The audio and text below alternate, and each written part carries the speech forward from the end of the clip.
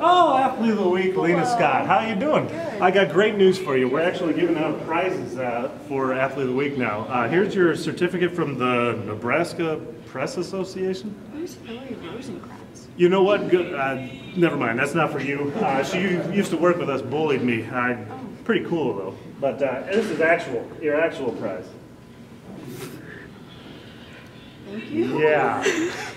Actually, I, I, I, I need it. Okay. Okay. It's just that I really like that Nemo. Okay. Yeah. You're not mad? No. All right. Okay. All right. Anyway, hi. My name is Grant Aker. I'm the sports editor for the Blair Enterprise, which is a newspaper in Blair, Nebraska. And this is Lina Scott. She is the athlete of the week, senior Yes. softball player. Yes. All right.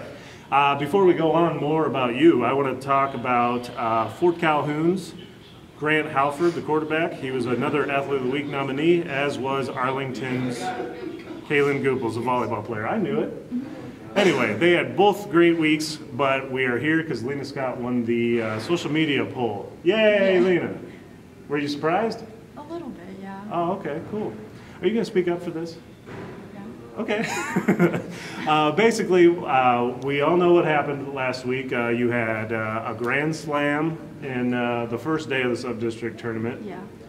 and then a, was it a second homer on that day, or was there two on the second yeah. day? So I started off with the solo home run, then I hit the grand slam, then the next day I hit. the that's a that's a one. lot of homers. Did you think about sharing some of your homers with the other teammates? I mean, yeah, but You had to do what you I had to do. All right. All right. Unfortunately, the uh, season later came uh, to an end in Hastings. Uh, tell me about that a little bit. What were the emotions of, uh, you know, it's senior year, softball season coming to an end? Yeah, it was very sad because we like to play as a team and seeing that I probably won't play with a lot of these girls ever again. It was very sad, but I'm very proud of the way we ended. Okay. And uh, just take me through your career. Obviously, I've seen you, uh, I think each of the three years I've been here for fall, you've played on varsity, right? I played, yeah, last year was my first time starting. Okay, so- yeah. But uh, a lot of experience. Uh, what were some of your favorite moments or uh, highlights of your uh, high school softball career, would you say? Definitely when we won districts last year. Yeah. That was the best feeling in the entire world. And then going to state was even better. Mm -hmm. So that was definitely the best. Yeah, I, uh, let's talk about that a little bit. Uh, the state tournament, it's a whole different thing. I, uh, you know, at this point, I had to go again yesterday for Arlington. Yeah, I was Not too. had to, got to. You were too? Oh, cool. Uh, what, what's it like being a spectator rather than uh, playing at it? Is it a little It's- more, you're able to enjoy it a little more? Yeah, more? you or- get to relax because the anxiety is very high Mm-hmm. on the field. But it was also so much fun playing there. So I definitely miss that. Okay.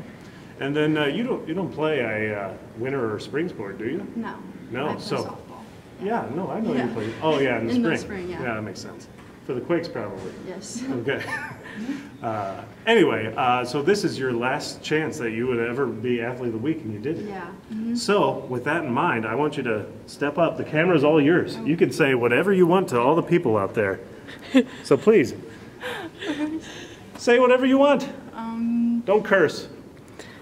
I'm very happy that I was athlete of the week, and I'm so proud of my team. And I want to wish them good luck next year. Go Bears!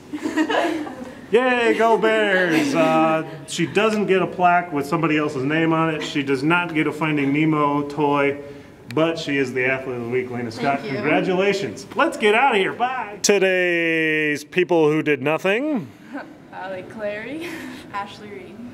and today's videographer. Caitlin Jensen.